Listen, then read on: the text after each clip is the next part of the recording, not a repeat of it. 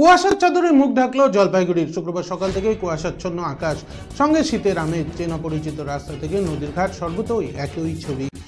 দৃশ্যমানতা কম থাকায় হেডলাইট জ্বালিয়ে গাড়ি চালাতে দেখা যায় গাড়ির চালকদের গায়ে গরম পোশাক চুটিয়ে ঠান্ডা উপভোগ করলেন বাসিন্দারা। বিদ্যালয়ের পড়ুয়ারা ঠান্ডা গায়ে সোয়েটার চাপিয়ে টুপি পরে স্কুলের পথে।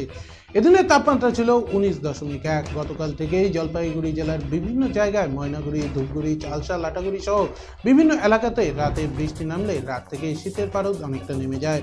ফলে সকাল থেকেই কুয়াশাচ্ছন্ন হয়ে পড়ে এলাকা। যদিও বেলা বেড়ার সঙ্গে সঙ্গে সূর্যদেবের দেখা মিলে, কিছুক্ষণের মধ্যে মিলিয়ে যাচ্ছে কুয়াশা। বিভিন্ন রাস্তাঘাটগুলিতে দেখা যায়, বিভিন্ন যানবাহনগুলি তাদের হেডলাইট জ্বালিয়ে চলতে হচ্ছে।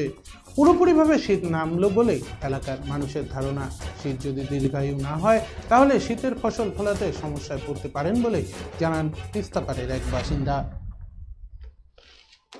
এতে প্রচণ্ড ঠান্ডা, বৃষ্টি হচ্ছে, সময় সময় বৃষ্টি হচ্ছে, সকালবেলা তো সেই কুয়াশা মানে কিছু দেখা যাচ্ছিল না, পরে তাও যে একটু বেলা হয়েছে, তো গাড়ি ঘোড়া চলতেছে খুব কম লাইট জ্বালে আসতেছে কী করতেছে এই তো। প্রচণ্ড ঠান্ডা।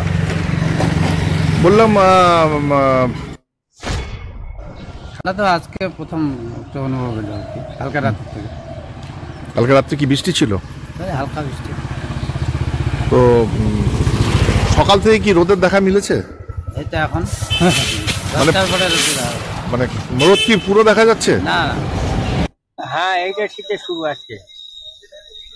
শীত এ- এই না হলে তো আপনার মটরশুটি হবে না। হ্যাঁ গরম পড়লে তো শীতে মটরশুটি হয় না। এই যে রায় শস্যা এটা তো আপনার শীত না হলে এটা শীতের ফসল। হ্যাঁ এইটা শীতের শুরু আজকে।